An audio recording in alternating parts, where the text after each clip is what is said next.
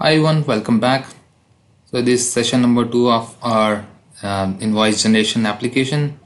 So in uh, past session we learned how we can create invoice numbers automatically and how we can save the invoice data into a SharePoint list.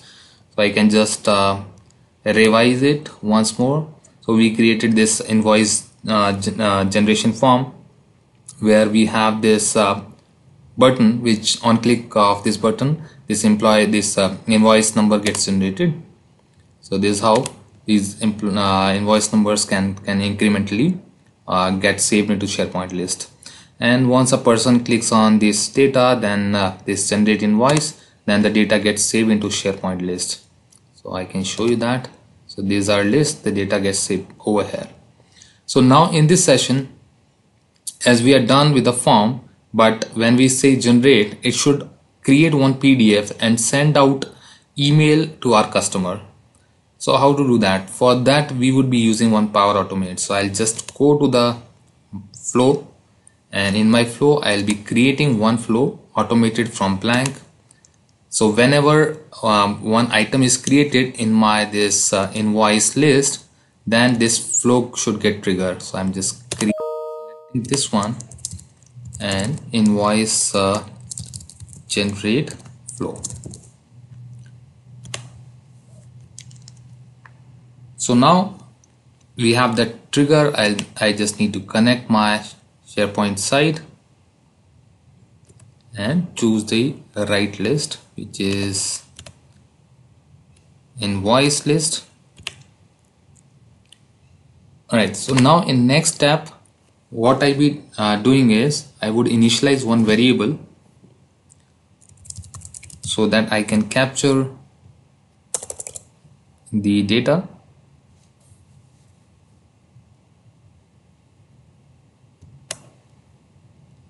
And under this I'll just name that as object list. And I will make it of type object and under the value I would be choosing value as body so that I can extract all the details from this body field. In the next step I'll be just composing using compose function. I'll be composing my HTML so that I can pass on the HTML uh, uh, to create one HTML file which in turn we are going to convert that into PDF so I'll be uh, showing you what that HTML would look like. So now you can see. So this would be my HTML is having just some styling. And in the header I can have written it's a performa invoice. And in the variable so as I created that object list variable and I'll be extracting out all the values from here. So by by using this thing. Title so this will give me the invoice number and in the other TRTDs I can just uh, use the other variables. So bill to address item 1 name item 2 name total cost and this purely HTML so you can uh, transfer you transform your HTML uh, just to uh, make including the logo or just to merge the columns. So based on uh, your requirement you can build your layout. So for time being because I'm just going to construct this simple table so I'm copying this and going back to my flow and under the expression I'm just pasting that out. So this is how I can construct my HTML so in next step I would be creating one file. And this file I'm going to let's say store on OneDrive. You can do that in SharePoint as well. So now I'm choosing uh, path the folder path I would be choosing just root one.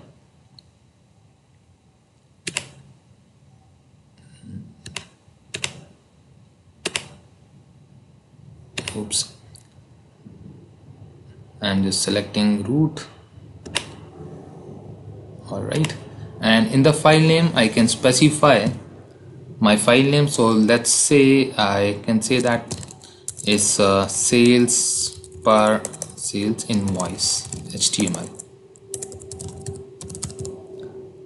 and file content I'll be choosing the output which I got from my previous tab. So now this will create one HTML file under my OneDrive uh, folder. And, and in the next step I'll just simply do convert file preview. So this connector we are going to use.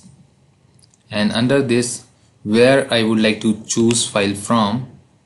So I can just simply say I'll choose from my root. And under root uh, you would find if you have already have some file you will find that. So uh, for this thing I, I, actually created this uh, as a demo previously. So I can see this file is there. So you can simply type your own I mean like slash sales invoice HTML you can type that by your own. So that's not a problem. So now the we have created this file and I need to have the same file name so I'll just in correct it out. Sales invoice HTML okay so now this sales invoice HTML being created I'm reading out the sales invoice HTML and target type is PDF so this will convert this file to PDF so now once we got our PDF file the next step would be we have to send out email to our customer that your invoice is generated. So I'll be using email send email v2 from Outlook. And under this I'll specify for the time being I'll just select my ID and subject I can say invoice ready. You can have the invoice number as well. So from this you can pick the title so which would be actually invoice and under body you can simply say PFA please find attached invoice and show advance because we would like to attach this PDF as an attachment so I can just have this file name selected from convert file action and the content from file content. I can just uh, save it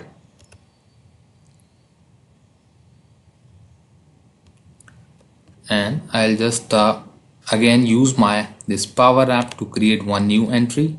So I'll just uh, go to my power apps. First of all I'll just publish this one. So that I can run.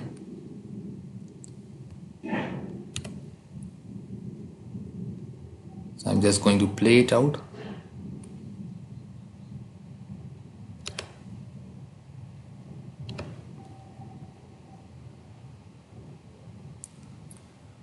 alright so I am just generating first of all this invoice number is blank. I am generating a new invoice number. Okay I got it. And now I'll just add let's say it's a pencils. Item is pencil. Cost is possibly one dollar. And quantity is thousand. I'm just ordering stationery.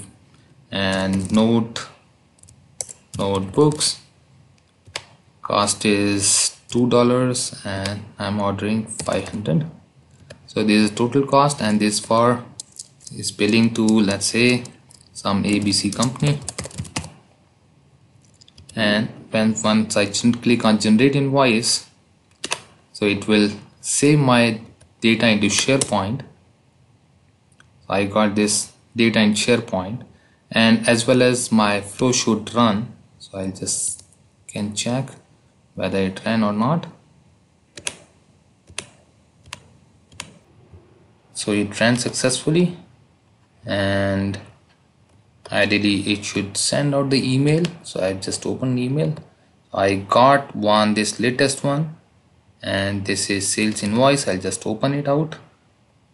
And now you can see it's billed to ABC company item number this this and total cost. So it did not cover the total cost. That means we must have mapped it with the wrong column but don't worry uh, we can just correct that out by putting the actual column value. So it's having special characters that's why it's not uh, uh, extracting out that column value. So we can just uh, simply change the column name or can just uh, fetch out the internal name of that column and uh, can can update it.